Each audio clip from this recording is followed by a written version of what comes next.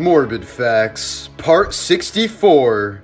Actor and comedian Chris Farley was originally casted to be the voice of Shrek, but he died of a drug overdose in 1997 when 90% of his lines were recorded for the movie. In 19th century Great Britain, it was illegal to attempt suicide. If the person was caught, the crime was punishable by hanging.